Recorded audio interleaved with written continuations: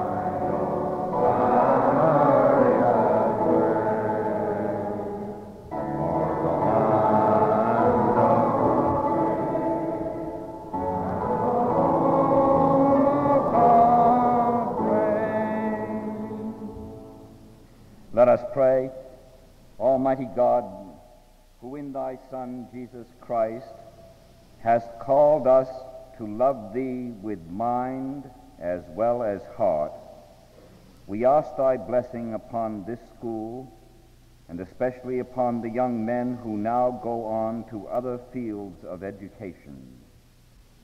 Help them, we pray thee, to consecrate the knowledge they have received here in thy service that the power conferred by understanding may be a blessing to all who know them, and the honor of Gilman School may shine brightly in their service. We ask it in Christ's name. Amen.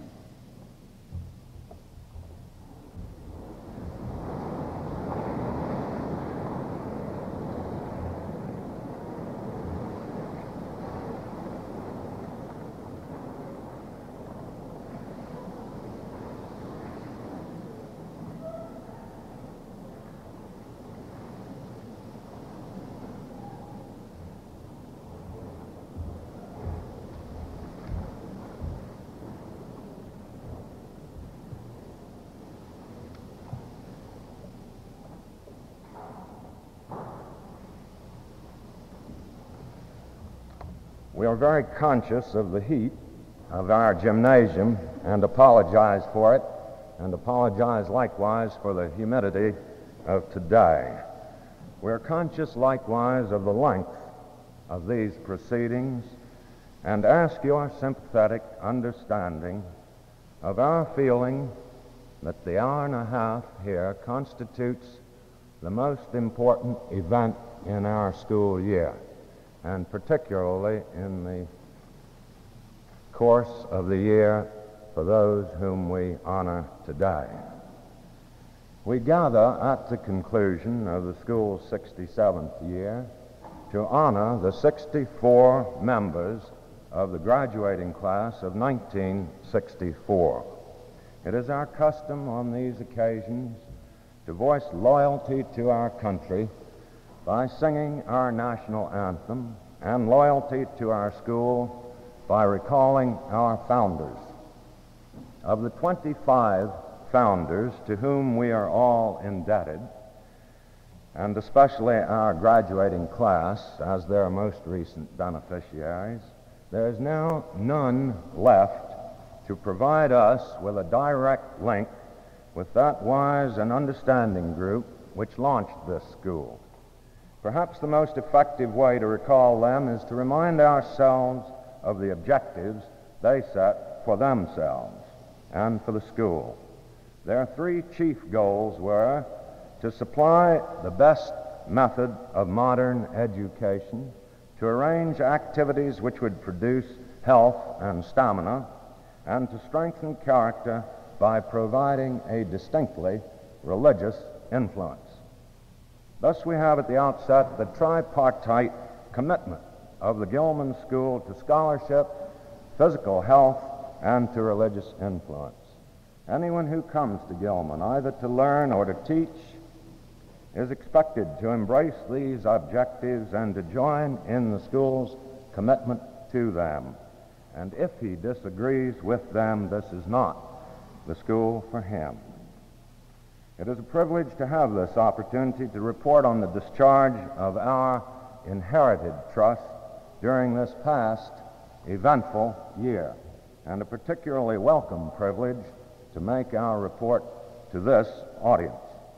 The parents and alumni constitute the foundation of a pyramid of support for the school, giving us our students and also the finances with which to work toward the objectives to which the school is committed. The overriding objective is the achievement of academic excellence. On this, as the primary objective, there is complete agreement among the 55 members of the faculty. In our individual effort to achieve this objective, however, each of us places different emphasis on one or another of several different procedures. Some the greater emphasis on much writing, others on much class discussion, some on the formulation of opinion, others on mastery of fact, still others on repetitive drill. This diversity in methodology, despite unity as to objective, may from time to time exasperate parents as well as boys, for both are bound to wonder why one member of the faculty doesn't proceed along lines followed by another, or why one department handles matters differently from another. It is our belief, however, that so long as the particular teacher shares the ideals of the school, is well prepared academically, is willing to work hard and long, and is affected with a genuine interest in his subject and in the welfare of his students, it is our feeling that this is the kind of teacher we want. There are bound to be further differences in the approach of individual teachers to other responsibilities of the school, differences in regard to such matters as the extent to which we should enroll boys from homes less fortunate financially than the general run of Gilman homes the relative stress to be placed on one or another of the various roles of athletics to win, build character, improve physical health, or provide enjoyment now and in the future.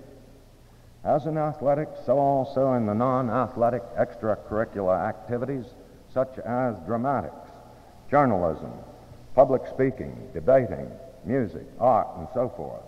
There will be continuing differences among men of goodwill as to where the greater emphasis should be placed. Differences will exist also in opinions as to priorities in the use of school funds, whether for salaries, for scholarships, or for improvement and maintenance of physical facilities. I pause here to say quite simply to this, the group that is the Gilman community, that any further funds that are needed for these three objectives salaries, scholarships, and facilities can now come from only two sources increased tuition or greater gifts, particularly the unrestricted type of gifts which come through annual giving. There was formerly a third source increased enrollment. In the past, the money required for a faculty salary increment could be secured by simply enrolling 15 to 20 additional students. This is no longer possible, for the school is filled to the limit of its facilities. It is for this reason that it was necessary to increase the tuition for next year. It is for this reason, likewise, that annual giving is being emphasized more than formerly. For from it we hope to finance new projects and plant improvement thus freeing income for, formerly used for that purpose for other purposes, including teaching. The annual giving average of around $15,000 per year for the past several years will not satisfy this objective, and we believe Gilman's 2,000 alumni and 650 parents will, when cognizant of the need, produce the fifty or hundred thousand dollars that is going to be necessary. We are reassured in this hope by the fact that others around us have done this well. Thus, Garrison Forest receives about 85,000, Germantown Friends about 65,000 annually, although one is smaller than Gilman and the other the same size. Reassurance comes also from the increased interest on the part of alumni and parents in Gilman's annual giving program, and we are very grateful. It may seem that I've left my main theme, but that is not the case. The peculiar value, the appealing value of Gilman lies in its potential for excellence in education. Realization of that potential depends largely on the individuals comprising the faculty. It is important that these faculty members be able to work in an environment that respects individual differences of method and approach to goals on which we are all agreed, and it is important that they not feel hampered by any inadequacies in the financial structure of the school. Though I have the privilege of expressing these views, they are in many cases only the observed evolution of a consensus that has been developing within the institution during the past several years and is still developing. For many reasons, our efforts this year have been less directed toward moving forward than towards consolidating the base from which to move forward. We are, it is true, moving toward accomplishment of two goals of many years' standing enlargement and improvement of the library, which we hope will be completed for the reopening of school in the fall. Annual giving and the circus are paying for this project. Likewise, the long hoped for summer school will become a reality when school starts this summer on June the 22nd. Furthermore, several indices point to the conclusion that the school has been able not only to maintain, but to further improve the caliber of its teaching. But by and large, the year has been one of transition and consolidation. And this was necessarily so because of so many changes.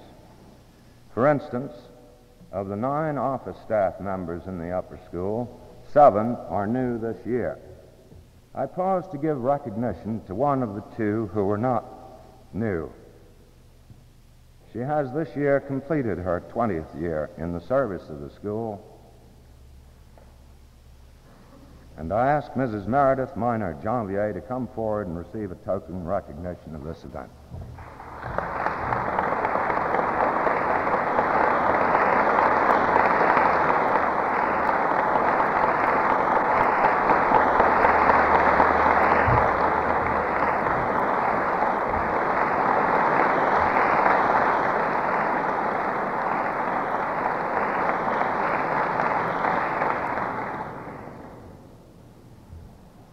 The other member of the upper school staff still with us is Miss Henrietta Rittler, school secretary, who continues to be a very present source of help at all times and who is assisted today, as always in the past, by Miss Holmes, who graciously returned for this occasion. Again, speaking of the upper school, 20% of our faculty was new this year. In view of these and other extensive changes in the administration, business, and teaching staffs, it is obvious that the transition has been possible only because of the combined efforts of several different groups. Not the least of these is our Board of Trustees, and most importantly, its president, a man of courage, integrity, and intelligence.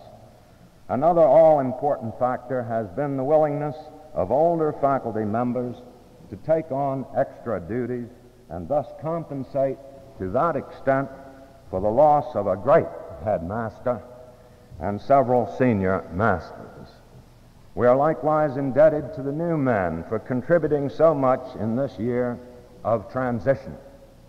There is real sadness in this time of the year when we must say goodbyes not only to the students who are leaving us, but also to such faculty members as Mademoiselle Bertrand and Mr. Lockwood and Mr. Vilmore, all of whom are going to undertake studies leading to advanced degrees, and to Mr. Lemp, who leaves us for the position of staff specialist for academic affairs with the Director of State Colleges in Maryland. We wish them Godspeed and good luck and offer our thanks for their contributions to Gilman. I pause to pay particular respect to our Fulbright Exchange faculty member from Hanover, Germany, whose year with us ends today. Mr. Karl Heinz Rinke has done exceptionally well in a strange land and a strange school, and in the face of many requests which must have appeared inordinately strange.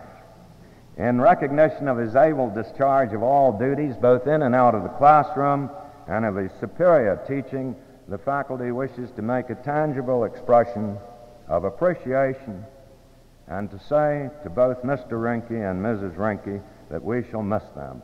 Will Mr. Rinke please come forward?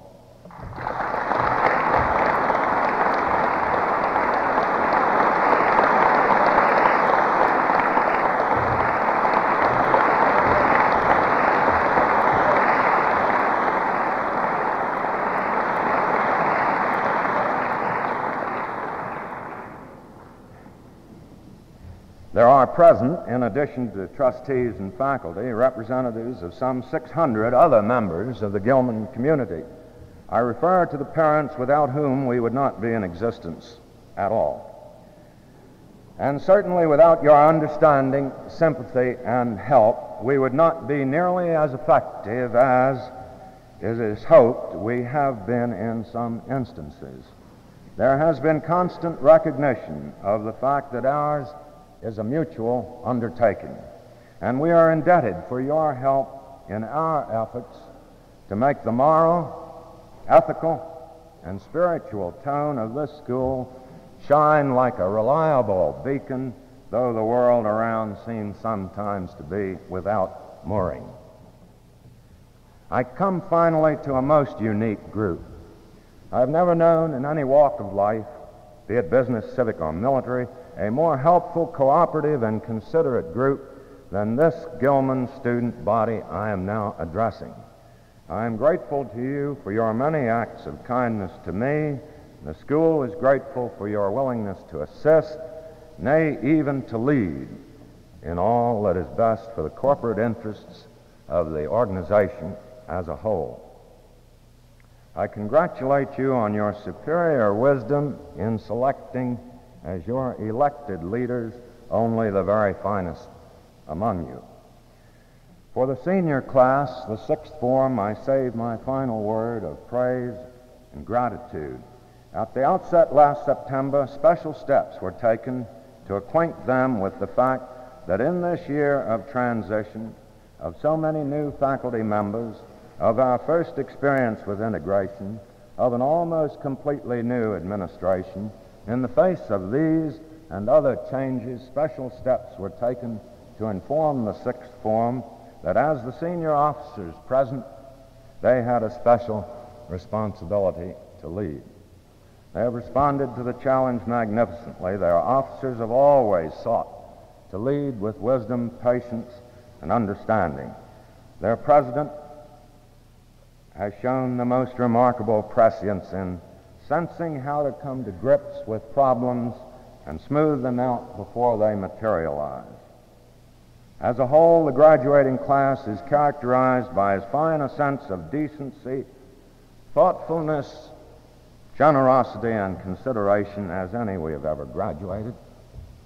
As because of them, we have passed happily through this year of transition and consolidation and have, with their help, and the help of parents, faculty, and trustees, laid the foundation onto which to construct in the next year further improvement in Gilman's general academic program.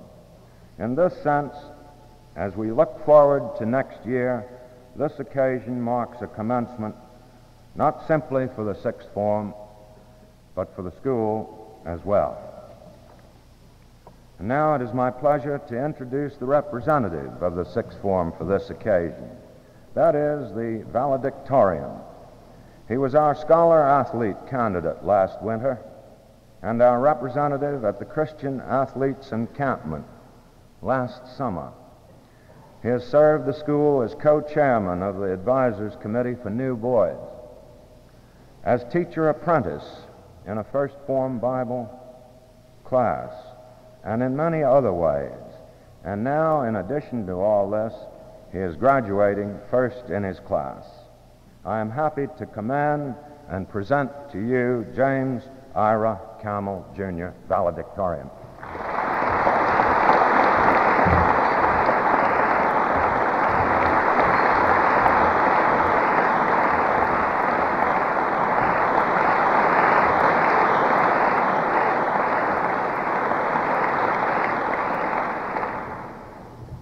Mr. Baldwin, members of the Board of Trustees, classmates, ladies and gentlemen. On Tuesday, September 16, 1958, we, the class of 1964, assembled in the first form room under the direction of Mr. Tickner. A few days before, Communist China had opened fire on Quemoy, and the Alaskans had voted for statehood.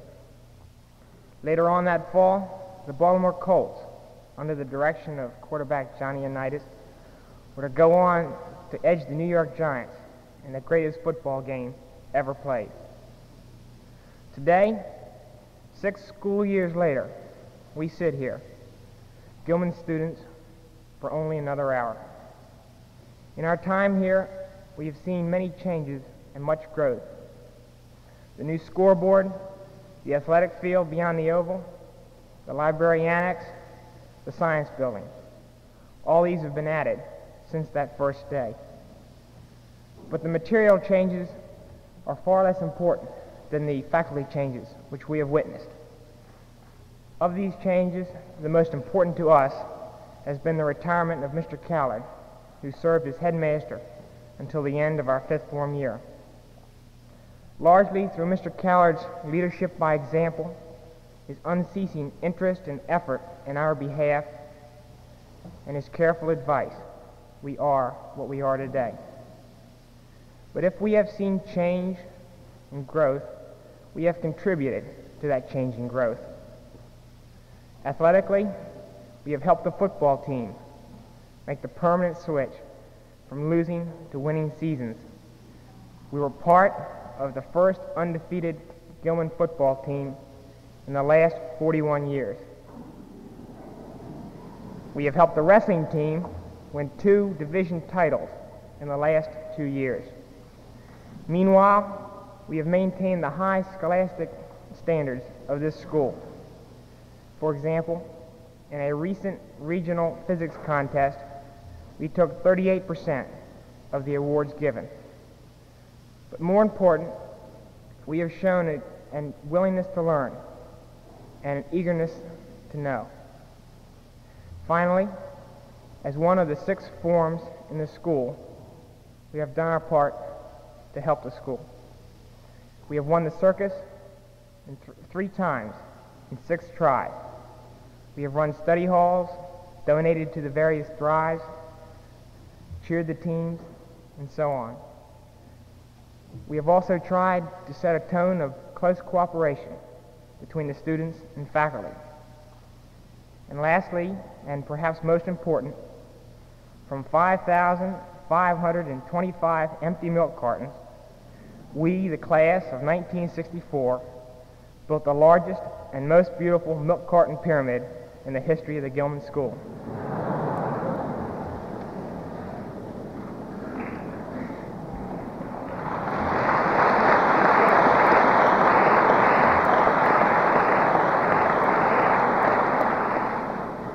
This we have done, and we are proud of it.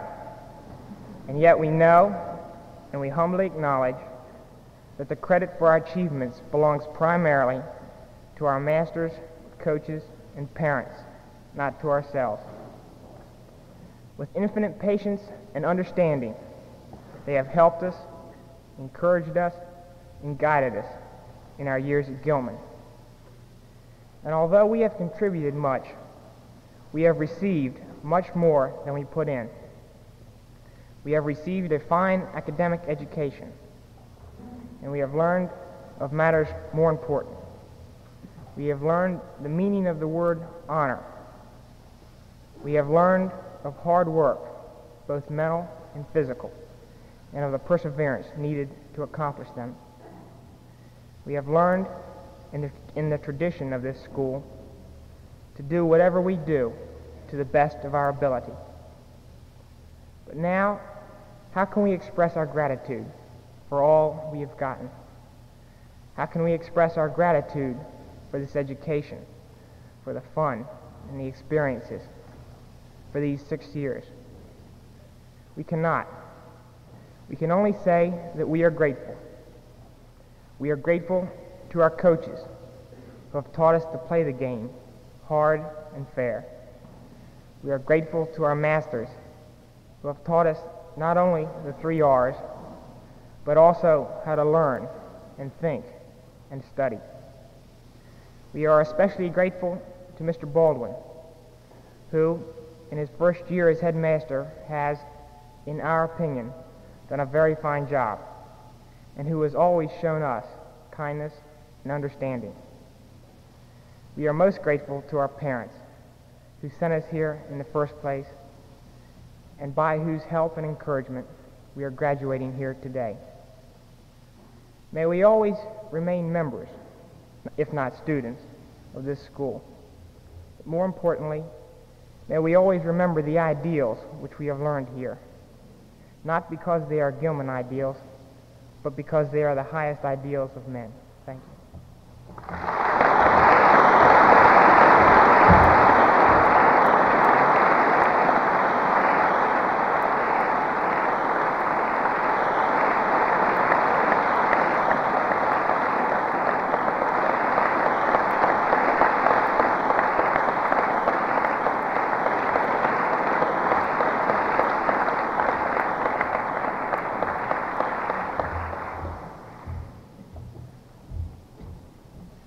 Turning now to those who have been graduated for a longer time than our valedictorian, I want to acknowledge for the trustees, the faculty, and the whole school the increasingly great help the Alumni Association has given us in each of the past 14 years. This period of time includes the construction of the auditorium, the science building, and the lower school extension. It includes the present time when the alumni account for about one fourth of our enrollment. We're grateful to them for their interest, their financial support, and for their sons. As I had occasion to say at our Christmas luncheon, the association has had the same good fortune as our various classes in that they select as officers men who are energetic, wise in counsel, and well qualified to lead. The present president carries on a great tradition in more ways than one. It is with constant appreciation for what the alumni have done for us and for what he is doing that I present Dr. D.C. W. Finney, president of the Alumni Association, who was awarded the Fisher Medallion in the class of 1943.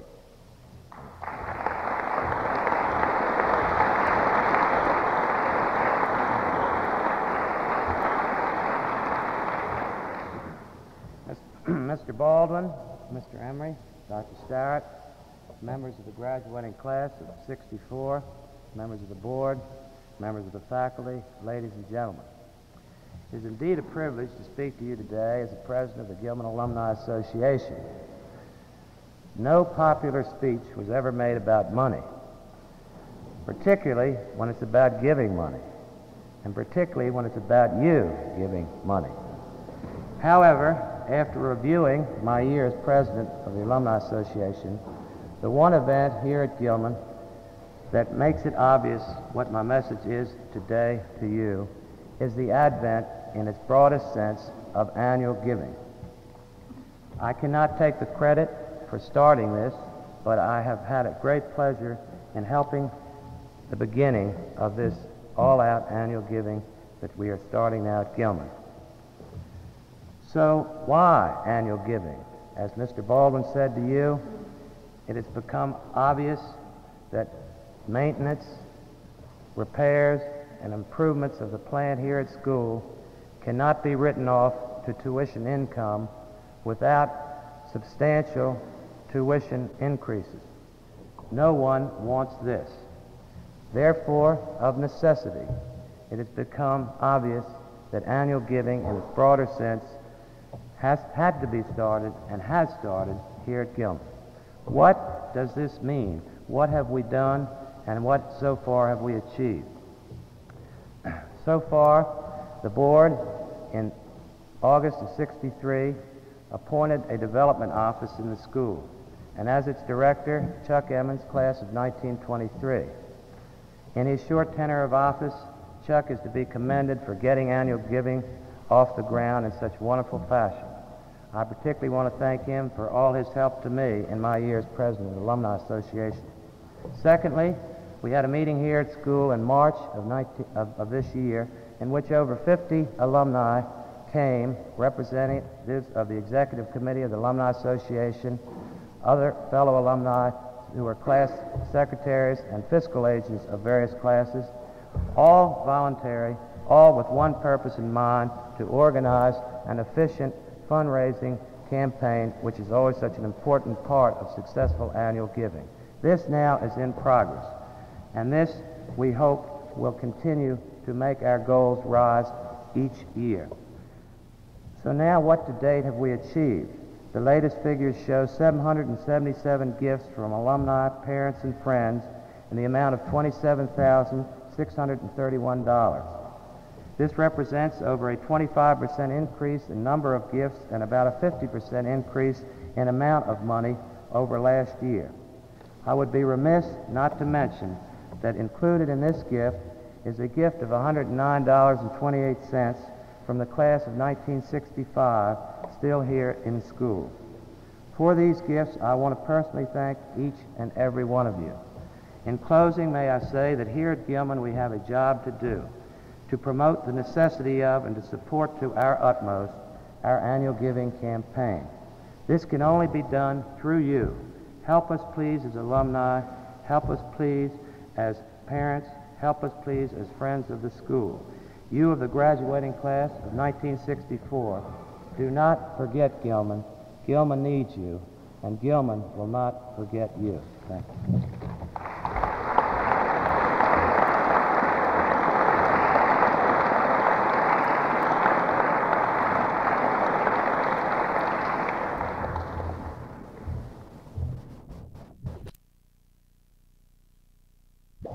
Is listed on the enclosure in your program. We congratulate the boys who have won this very notable distinction. You will note that four received the highest honors, meaning 95 or over. 47 received high honors, meaning 90 to 95, and 99 received honors, the range here being 85 to 90, and this latter group being nearly 31% of the student body. This is a significantly greater number than have ever been on Gilman's academic honor roll heretofore.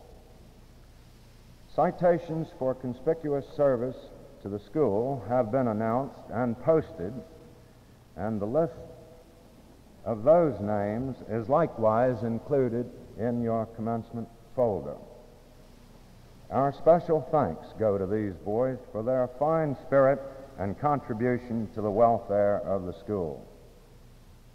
It is reassuring to note that the student council and the faculty, which together selected this list, felt that as many as 10% of the student body should be so cited for both the first and second terms.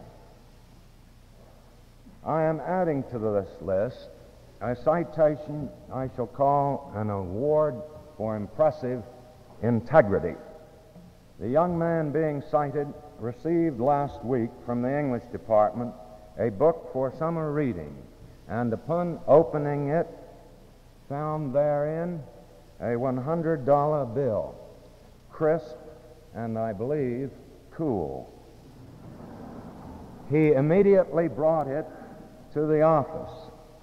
And unless it is claimed, it will go to our annual giving fund. I ask that third former Pope Furman Brock III rise in his place.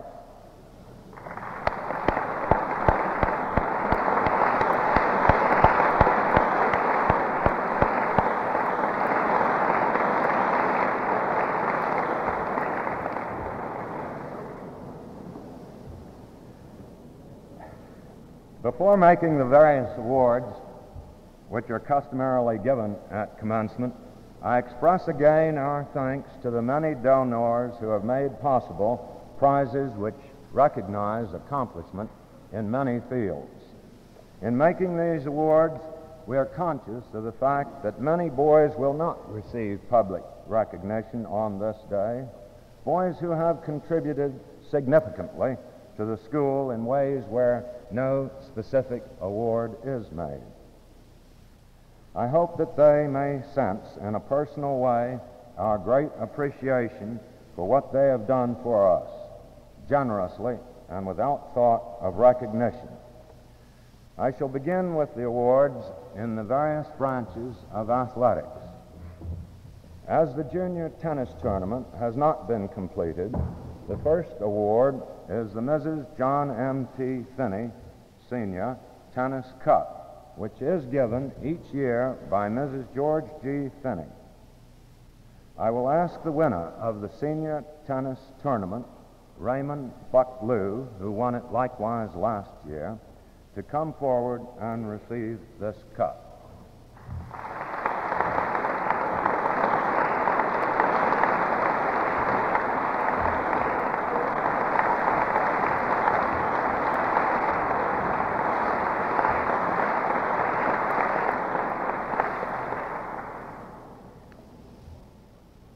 Culver Football Award, represented by the large cup on the table, was established by Mrs. Milton C. Whitaker in memory of her two sons, John K. Culver, Jr. of the class of 34 and Robert F. M. Culver of the class of 37.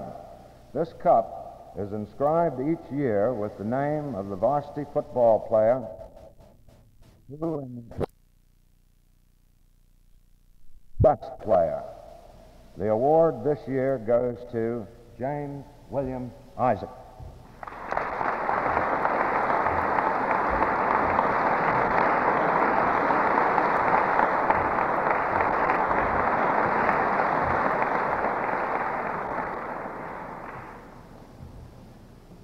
The C.B. Alexander Jr. Wrestling Cup was established in the spring of 1948 by Mr. Holmes M. Alexander, Jr. of the class of 26.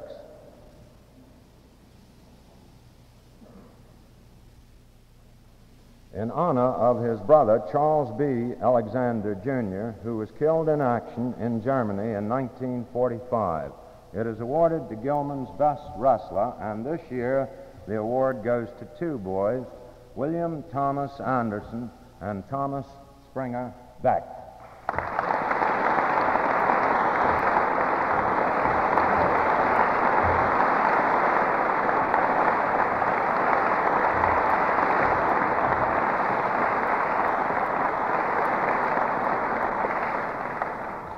The class of 39 basketball trophy is presented by the 1939 Gilman basketball team in honor of their classmates Edwin G. Bacher, Tyler Camel, John G. Thomas, and George Carl Westerlin, who died in the service of their country in World War II.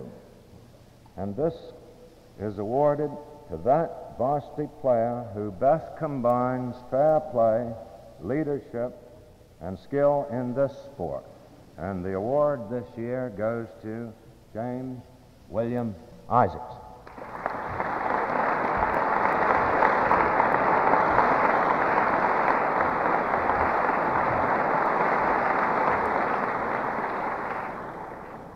The Tyler Camel Lacrosse Cup was established in the spring of 1945 by Mr. and Mrs. Ferris Thompson in honor and memory of Tyler Camel, of the class of 39 who was killed in action in the Great War. This cup is presented to the team's most valuable player who has shown leadership and true sportsmanship throughout the season. The award this year goes to two boys, Thomas Springer Beck and Jeffrey Bernard Miller.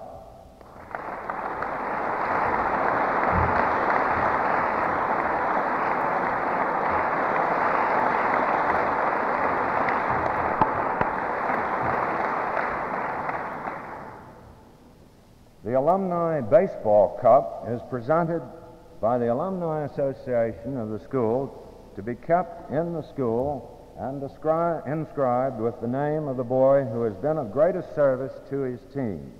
And the award this year goes to William Thomas Anderson.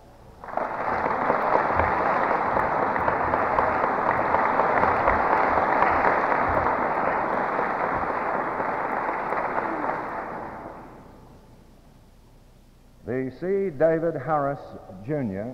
Tennis Cup was established in the winter of 1962 by the class of 1959 in memory of their classmate, Dave Harris. This award is given each year to that varsity tennis player who, in his ability and dedication, has made the greatest contribution to the team. The trophy remains in the school and has the name of the winner engraved on it. The award this year goes to Raymond Bucklew, winner of the Maryland Scholastic Association Championship on May 28th. Raymond.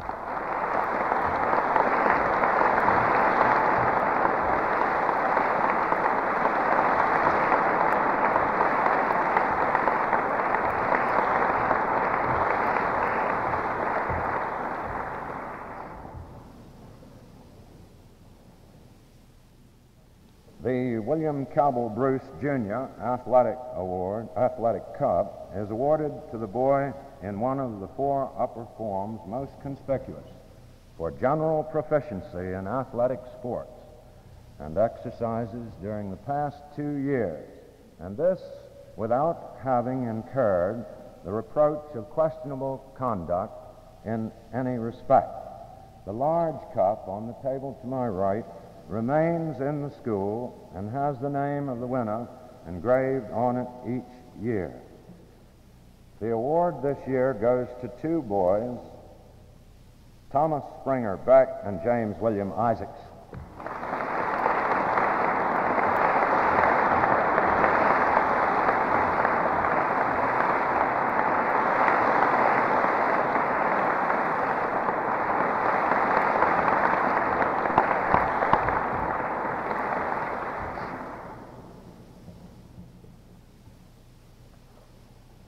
Come to the academic awards. We have awarded at morning assembly certain prizes which pertain to lower forms and prizes offered by the alumni of Franklin and Marshall College, Brown, Yale, and Harvard universities.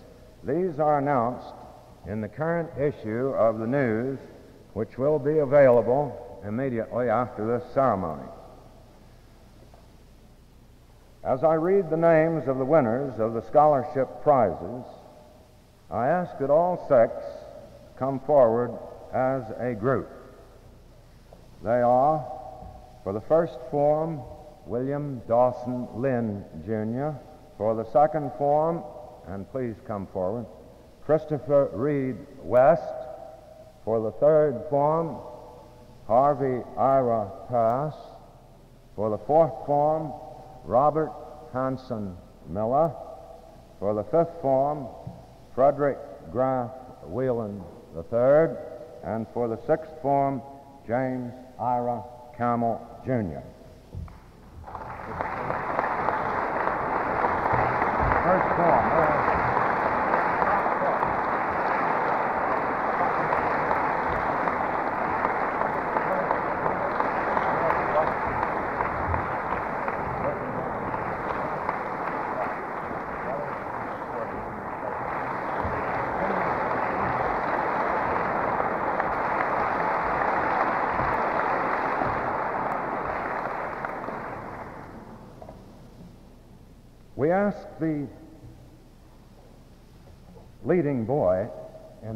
school, the boy who has achieved the highest average, to come forward alone.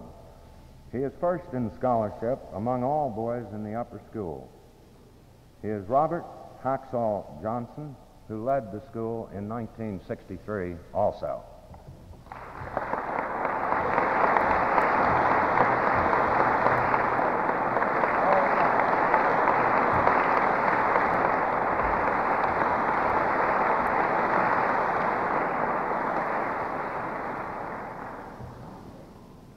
The Armstrong Prizes for prose and poetry are offered to stimulate composition among boys of the third, fourth, fifth, and sixth forms. One prize is for the best lyrical verse contributed to the blue and gray, and the other for the best imaginative prose submitted to the same magazine. They are offered in memory of Mrs. Alexander Armstrong, Sr. The award for prose goes to Douglas Gustav Green, and the award for poetry to Albert Gallatin Warfield III.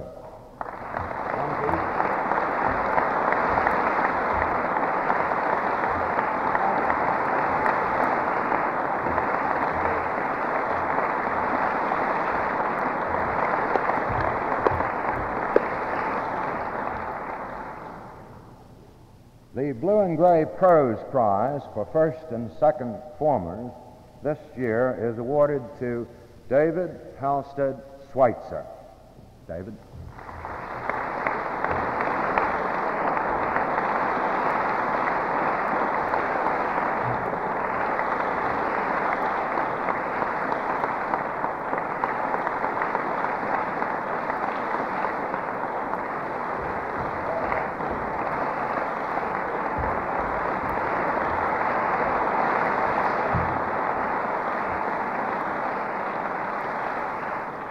The Elizabeth Woolsey Gilman Prize of Books is given annually through the legacy of Judge John M. Woolsey of New York in memory of his aunt, Mrs. Daniel Coit Gilman. To that boy in one of the upper three forms who passes the best examination on books, the reading of which is not required as a part of the school curriculum.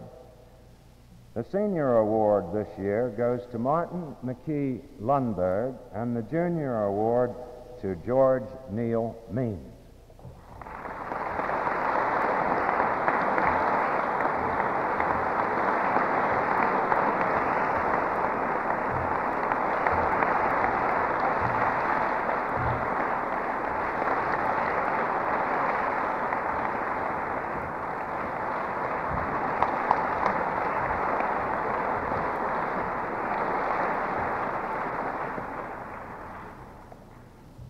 The Mrs. J. Crossan Cooper debating cup, which stands all the way to the right on the table to my right, was presented to the school in 1913 by Mrs. J. Crossan Cooper, and each year since that time, the names of the members of the winning team in the final debate between the Areopagus and the next are inscribed upon it. It now lists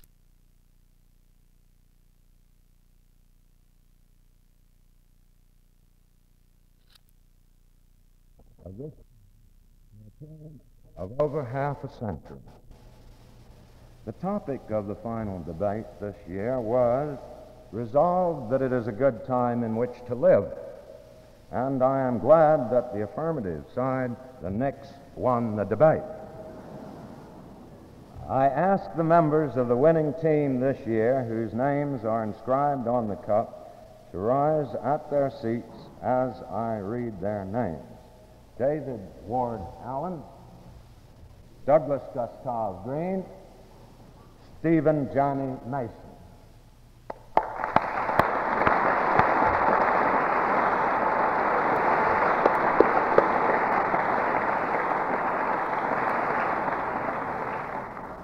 The Dr. J.M.T. Finney Sr. debating prizes were given for many years by Mrs. J- John M.T. Finney, whose interest and concern for the school was strong and unfailing.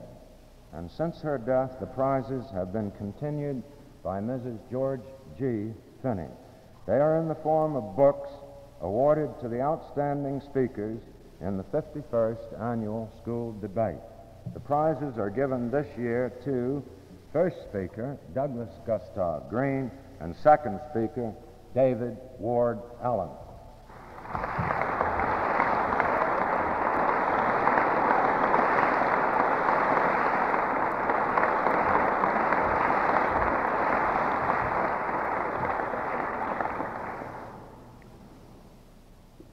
Sixth form speaking prizes in the form of books are awarded to the two boys who deliver the best speeches in the annual speaking contest, which is held among leading speakers in the sixth form.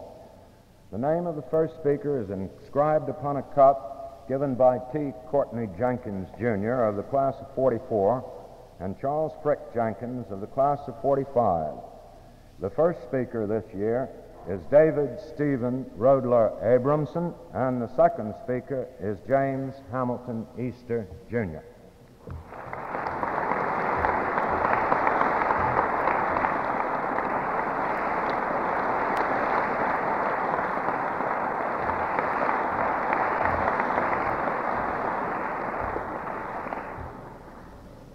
The other finalists were David Ward Allen, Douglas Gustav Green, and Andrew Philip King, whom I asked to stand because all received honorable mention.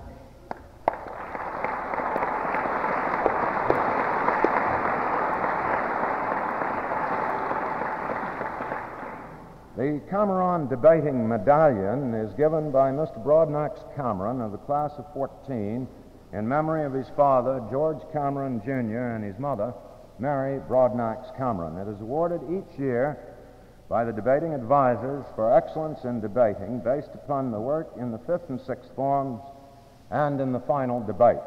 The award this year goes to Stephen Johnny Mason.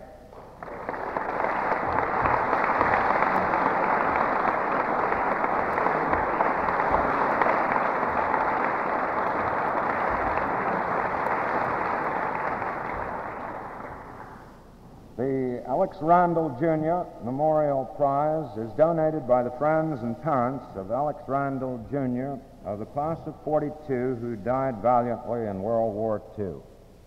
It is awarded to that boy who has been outstanding in his interest and contribution to literary or publication activities or has encouraged younger boys in these fields. And the award this year goes to John Fife Symington III.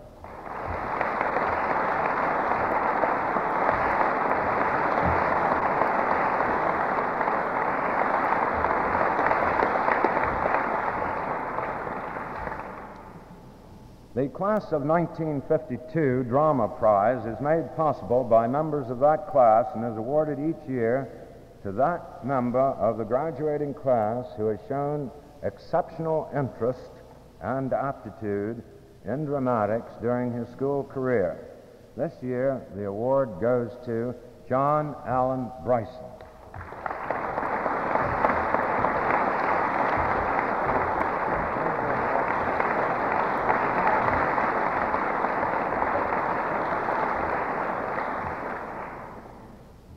In honor of Dr. John M.T. Finney, Sr., who was president of the Board of Trustees for 30 years, Mr. Richard F. Cleveland gives each year a prize of $75 to be awarded to that member of the graduating class who submits the best written discussion or essay on some current aspect of democracy. The very timely subject of this year's essay is the contingencies of presidential disability and succession, a history and a proposal. The award this year goes to John Allen Bryson.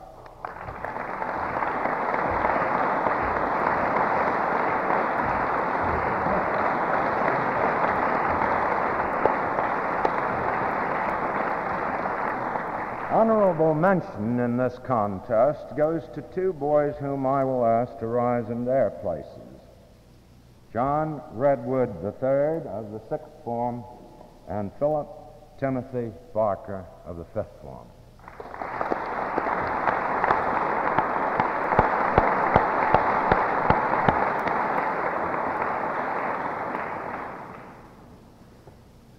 The Louis Alma Woodward Award was established in 1956 by the parents and friends of Lewis Woodward, an outstanding member of the class of 1958. The award in his honor and memory is given each year to a member of the third form who has revealed in largest measure qualities of leadership, enthusiasm, and loyalty, which were strikingly characteristic of Lewis Woodward. And it gives me great pleasure to present this award to Frederick Barton Harvey III.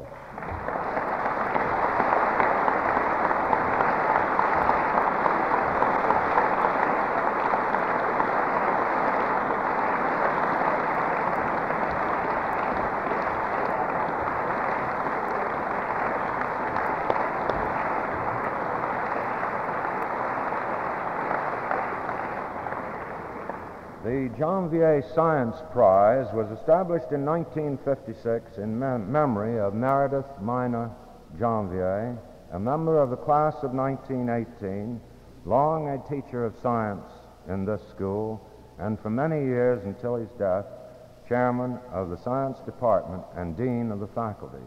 It is awarded to that fifth or sixth former who has evidenced interest and ability of a high order in the field of science, and this year is awarded to William Lowell Stafford.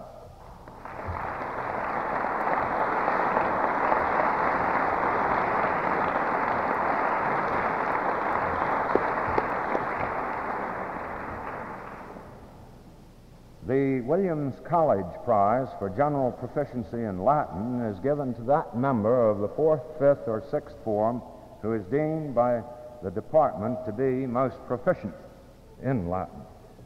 The award is made possible by the Baltimore alumni of Williams College, and this year is made to Frederick Graff Whelan III.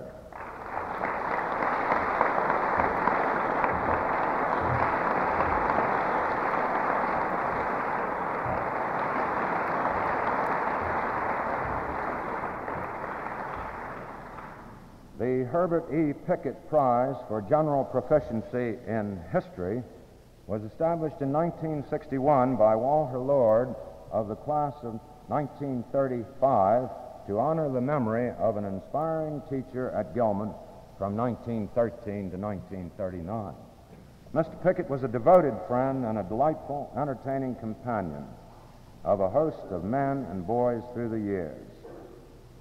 The award goes to the boy in one of the two upper forms who has shown the greatest general interest and proficiency in history, as displayed not only in the classroom but outside as well.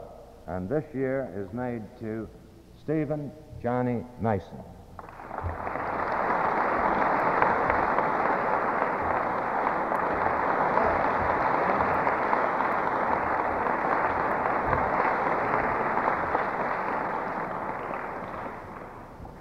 Prize for proficiency in French is awarded by the Alliance Francaise to that boy in the sixth form French class who is deemed by the department to be most proficient in that language and is awarded this year to Albert Gallatin Warfield III.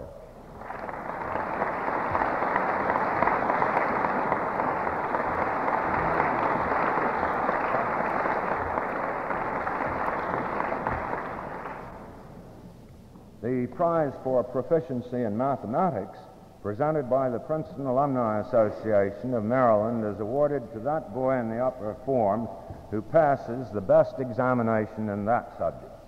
The name of the winner is placed on a permanent tablet in the main school hallway, and this year the prize is awarded to James Ira Camel, Jr.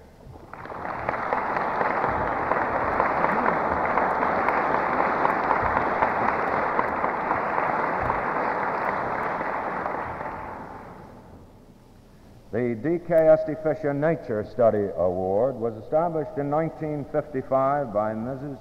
D. K. D.K. Este Fisher in memory of Mr. Fisher, the last surviving founder of the school.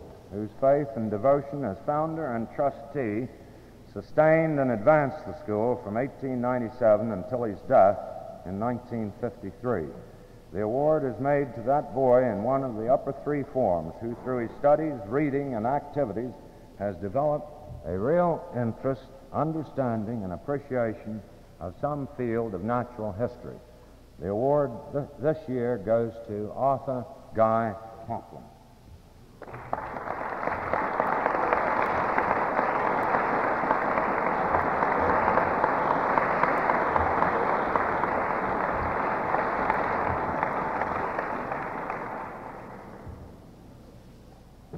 Each year, there are a number of boys to whom the faculty feel especially indebted for helpfulness and contributions which have added greatly to the success and happiness of the year's work. Though it is always difficult to single out only a few boys, we have done so this year, and on behalf of the faculty, I would like to present to nine seniors framed etchings of the school as an expression of our appreciation. I will ask these nine boys to come forward as a group, and I will read from the inscription on the etching citing their contribution. James Ira Camel Jr., James Nicholas Sianis Jr., Peter Gibbons Neff, Martin McKee Lundberg, Jeffrey Bernard Miller, Robert Graham Pine, William Lowell Stafford, John Fife Symington III, and Sturtevant Ford Weiskettle. To James Ira Camel Jr., from the faculty with appreciation for his consistent devotion to excellence in scholastic work, in athletics, and in help to younger boys. To James Nicholas Sianis, Jr., from the faculty, with appreciation for the finest possible example of constant cheerfulness and unflagging perseverance. To Peter Gibbons Neff, from the faculty, with appreciation for his rugged loyalty to the highest ideals of the school and his devotion to hard work. To Martin McKee Lundberg from the faculty with appreciation for his ready willingness to perform any and every job needing to be done.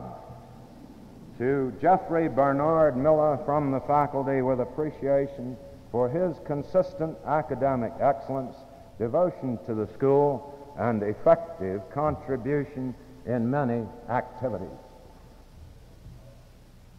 To Robert Graham Pine from the faculty with appreciation for his courteous cooperation and his quiet and modest performance of jobs that contribute to the welfare of the school.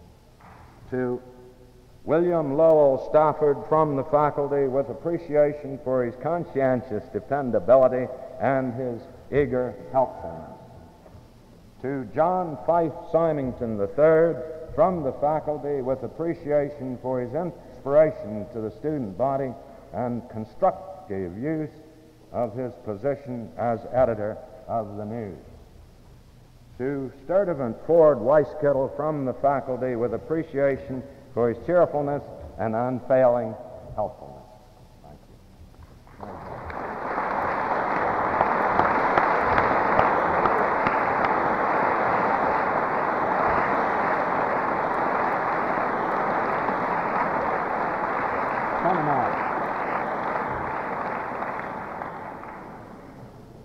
you. The Fenimore Award was established in 1963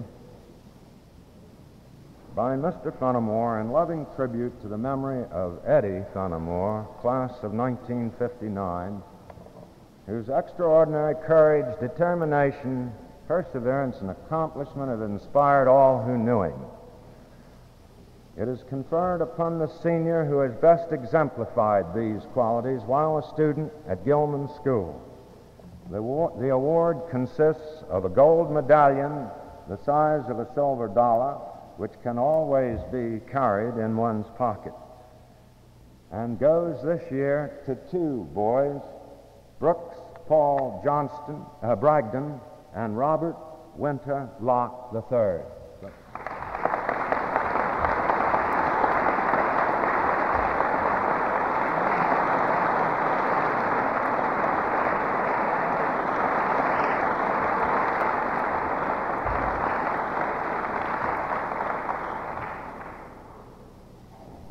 Peter P. Blanchard Award is made possible by a fund donated by the children and relatives of Mr. Blanchard, who was business manager of the school from 1917 to 1944. It is awarded to that boy in the upper school who, by his cheerful helpfulness in many ways, has greatly contributed to the successful and pleasant life of the school. These qualities were outstanding in the life of Mr. Blanchard, in whose memory the prize is given, and this year the award goes to John Albert McKay.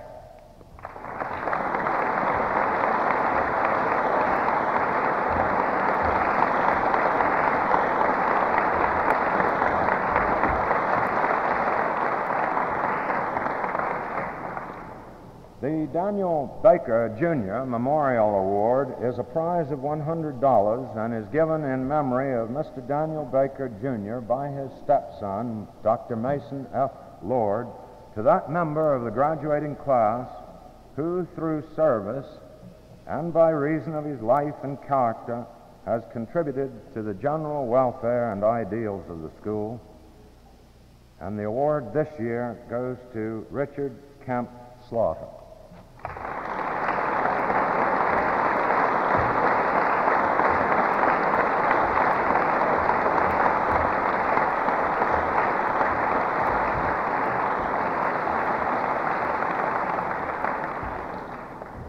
The last prize is the William A. Fisher Medallion, which was established by the late Mrs. William Cabell Bruce in honor of her father, Judge William A. Fisher, the first president of the Board of Trustees. It is given only to a member of the fifth or sixth forms who has been in the school for three consecutive years, is in complete and regular standing in his form, and is closing his school career. The medallion is given among boys of high standing in scholarship to that boy who has rendered the highest service that can be rendered the school by leadership based on the influence of character. And the award this year is made to James William Isaacs.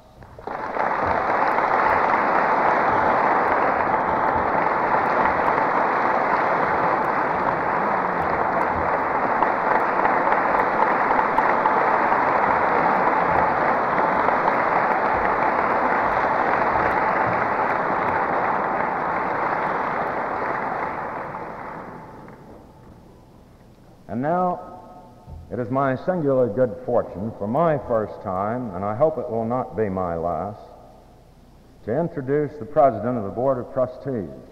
I referred to him earlier as a man of courage, integrity, and intelligence, and to these qualities should be added the word coined by the January 15, 17th Morning Sun editorial, which commended his level headedness.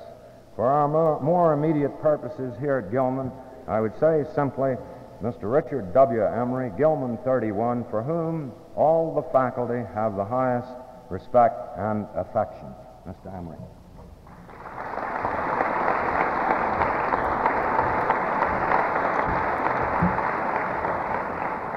Mr.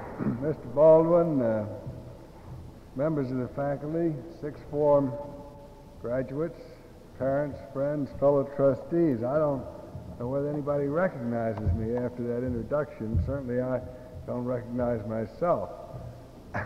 Someday I want to give a speech on uh, Gilman, but uh, the only chance I get is at Founders Day, and when they finally get down to me, I realize that uh, everybody's hot and tired and they want to get on with the show. I do want to say, though, that uh, I'm terribly impressed with the Gilman faculty. I think every year it gets better and better. And uh, we had a big loss this year with Henry Callard's retirement, but I, I think the school came up with a another great leader in Ludlow Baldwin. I never had any doubt about it, and I think uh, the year has proved that we were lucky to have somebody like Ludlow take over. And the faculty, I'm sure, is as fine as uh, any school in the country, and I want to thank them because without the faculty, we have no school at all. To the sixth form, I want to wish them all the luck in the world, and uh, I hope that they won't have to come back here year after year like I do and give out uh, these uh, diplomas because uh, Mr. Baldwin wants me to stay on, but I really think it's somebody else's turn to do it. But anyway, anything that I can do for Ludlow Baldwin, the faculty in Gilman School, I'm glad to do.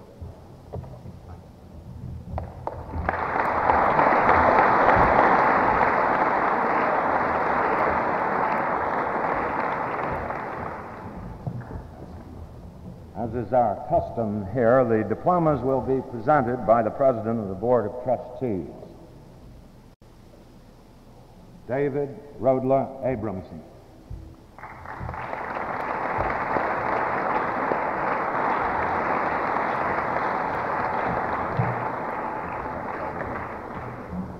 David Ward Allen.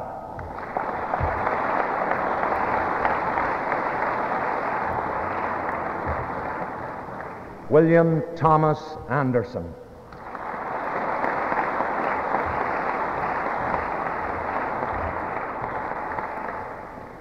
William Carlisle Barton.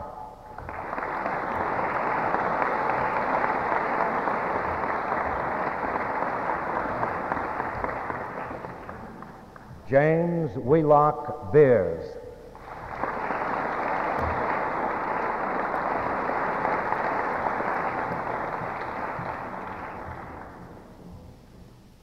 Brooks Paul Johnston Bragdon.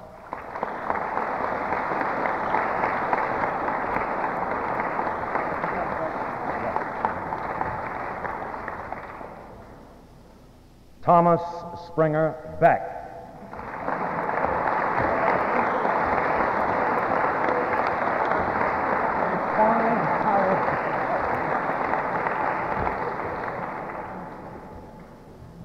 Robert Anderson Brown.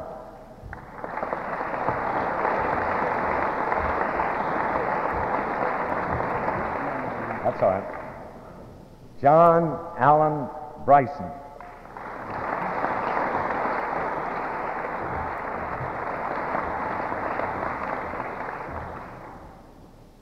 James Ira Camel Jr.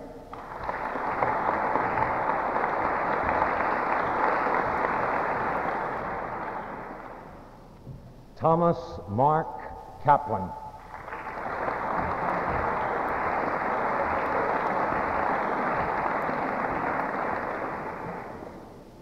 Ronald Keith Chelton.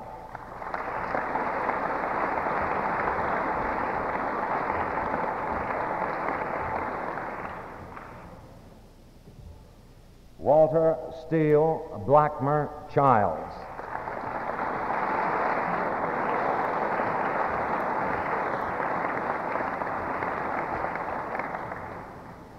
James Nicholas Sianis Jr.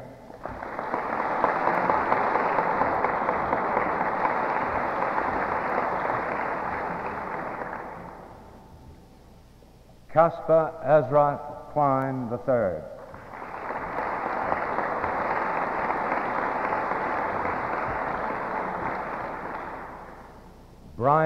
Coffey.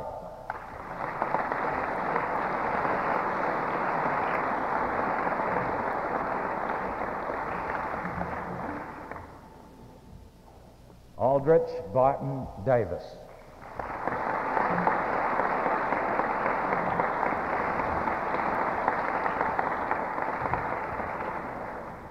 Paul Trimble Duvivier.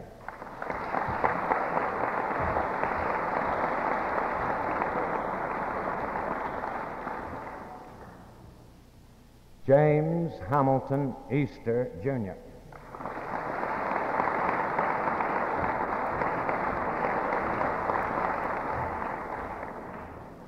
Forrest Craig Flanders.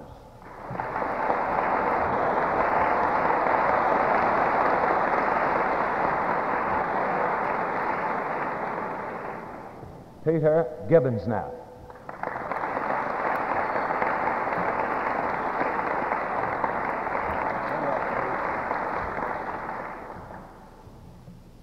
Joshua Thomas Gilliland II.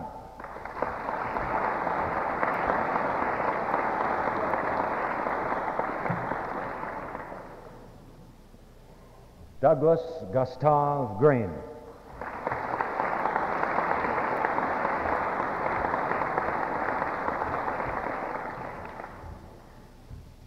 James Dunn Hardesty.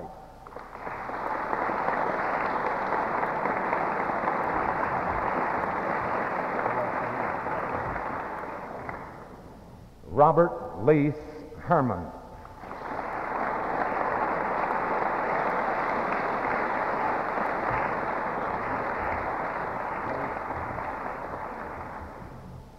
Nicholas Taylor Iliff.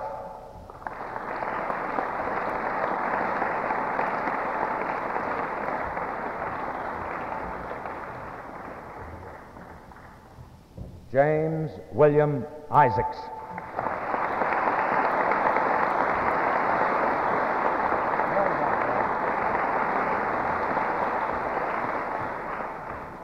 David Starr Johnson, Jr.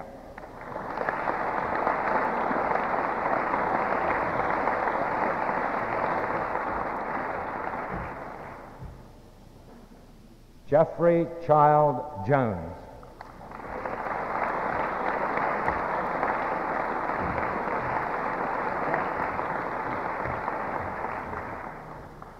Arthur Guy Kaplan.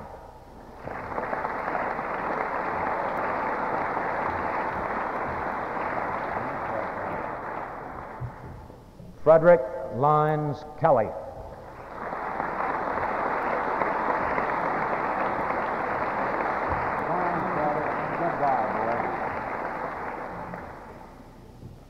Andrew Philippe King.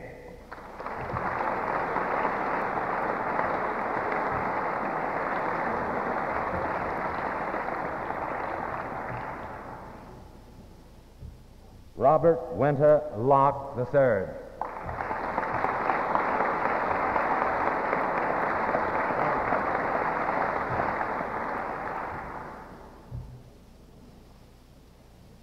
John Wesley Gwynn Lowe.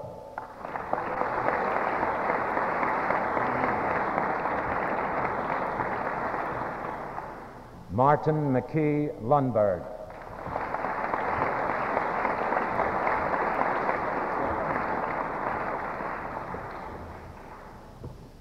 John Kenneth McLean.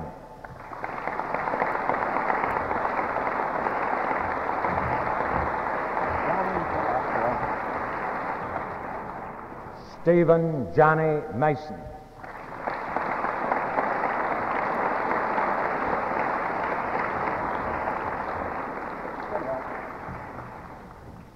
Stuart Ray McCarthy.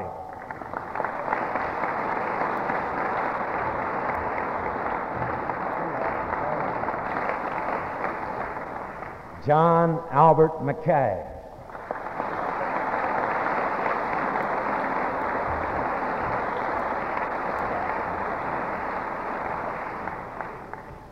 Robert Neville McCormick.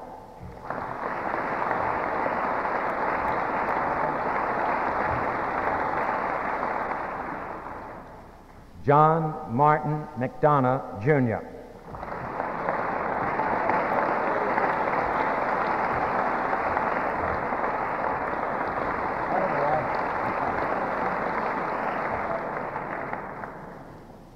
Jeffrey Bernard Miller.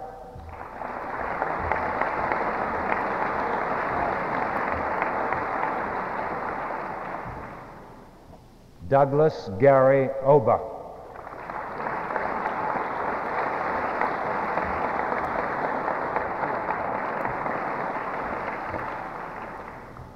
Mitchell Goff Owens.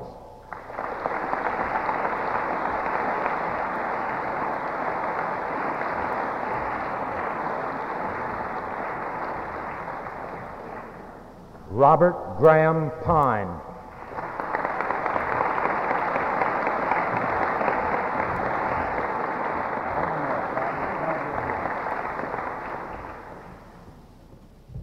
Lawrence Harwood Pretty.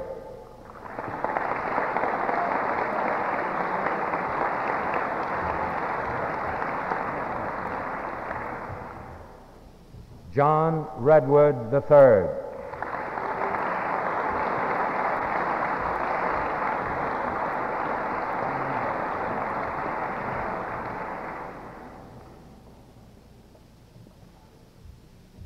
William Patton Reed.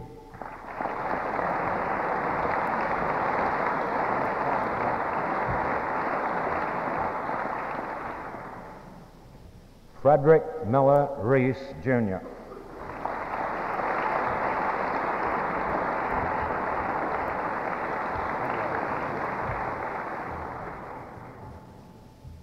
Samuel Thompson Redgrave Revel III.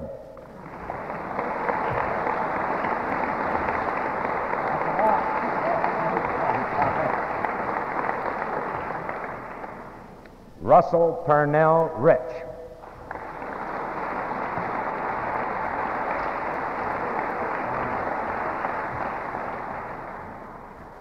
Stephen Tottle Scott.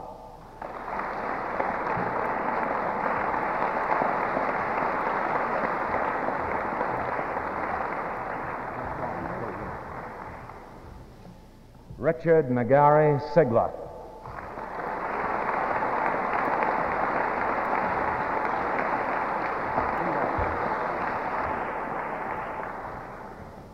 John Mayer Silverstein.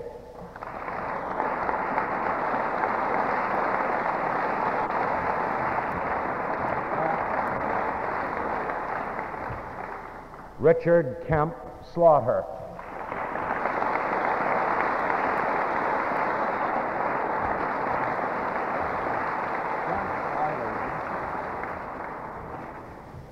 Howard Hershey Solid.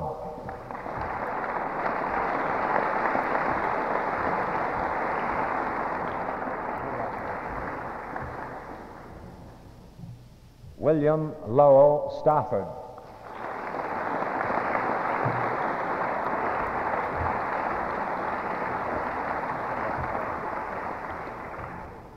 John Fife Symington III.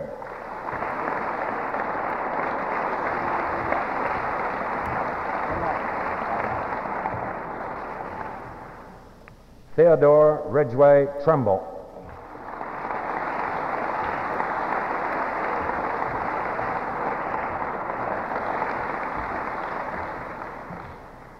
Albert Gallatin Warfield III.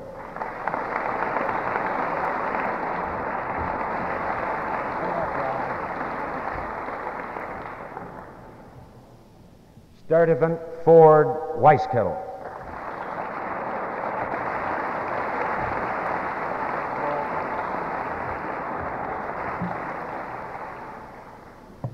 James Simpson Wedby III.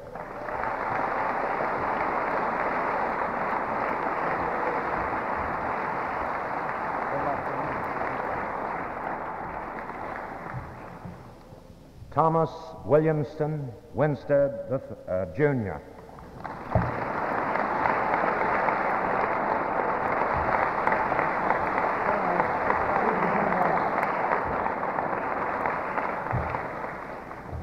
Jonathan Fairbanks Wood.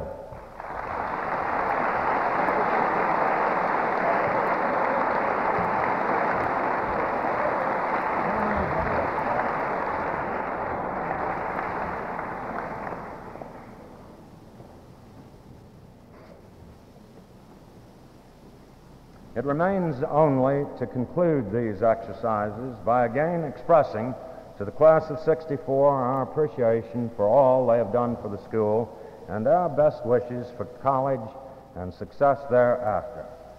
There's no doubt that they have left a fine and lasting imprint on the school, and there is likewise no doubt about the welcome they will find here whenever they have the opportunity to visit. They have trained a splendid group to follow, and the school will be in the capable hands of Jeff LeBoutelier, Bob Stifler, Chris Deal, Bill Baker, and Fred Whelan. There is, in addition, a great reservoir of talent awaiting to be tapped. Indeed, the greatest problem facing next year's sixth form committee is how to channel the energies of the unusual number of able seniors who are not class officers and indeed in some instances are not club officers either. This is a serious problem and one that warrants the thoughtful consideration of the whole school, as well as senior officers and student council and faculty. There is opportunity here for each senior to work into a position of real responsibility and thus start, while still in the school, that training which Gilman would like all its students to have in contributing to the welfare of those around them. Training, that is, in being active, participating, contributing citizens. To the whole school, those leaving us for college, as well as those who will again be working with us next year, the faculty says well done and extends best wishes for a happy, constructive, and well deserved vacation. We will conclude with the great hymn which we at Gilman like to think is the school's own. O God, our help in ages past. And then the final stanza of America. And we will thereafter remain standing for the benediction by Dr. Starratt. After the benediction, I ask that we follow last year's procedure in leaving. That is, the audience will please remain in their places so that the school can go out quickly and thereby relieve the congestion. The graduating class will remain briefly in the forward part of the auditorium to be greeted by the trustees and the faculty who will not file out with the lower forms, but will be in the front to speak to parents and friends. Let us rise and sing, O God, our help in ages past.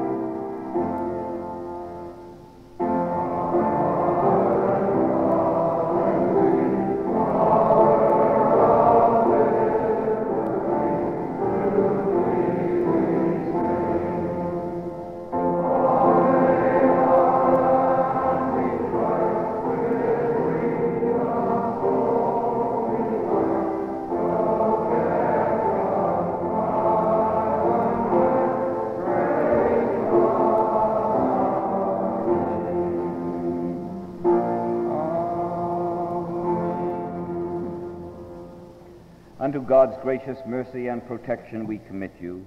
The Lord bless you and keep you. The Lord make his face to shine upon you and be gracious unto you. The Lord lift up the light of his countenance upon you and give you strength in his service this day and forevermore. Amen.